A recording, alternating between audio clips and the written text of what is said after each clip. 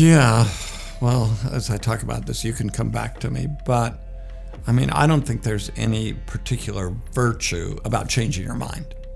I don't think there, there's anything inherently good about that. If you, if, I mean, the ideal is to get it all right from the beginning, right?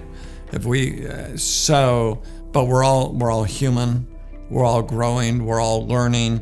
One of the things I said to myself when I was young, because I started writing when I was young, is I, do, I don't want to fall into the air, the pride of saying, okay, I've written and I'm never going to change my mind. Because I wanted to say, I'm doing the best I can to understand these texts, but I want not my own ideas finally to be the authority, but God's word. And I realize, you know, on, on the central issues, the main issues, the text is, is clear, right? But there are some secondary issues. They're important, but they're not as important that, you know, evangelicals disagree on. And there, there we want I wanted to keep listening to the text. And I want to listen well uh, to, to other people. So one of the things you do as a scholar, right, you read people who disagree with you. And my goal, what I was taught, is listen to other people with charity.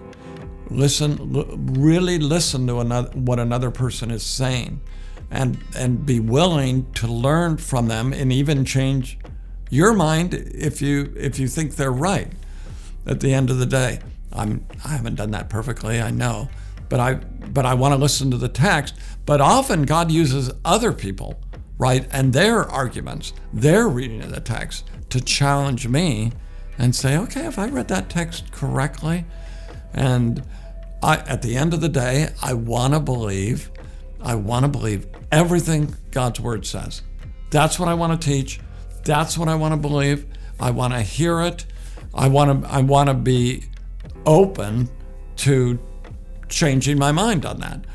And I think, uh, yeah, I think that's been good. I have friends who haven't changed their mind on anything, and I, I don't think they're not humble. They're they're more. Uh, I, I trust that they have good reasons for what they've believed over the years.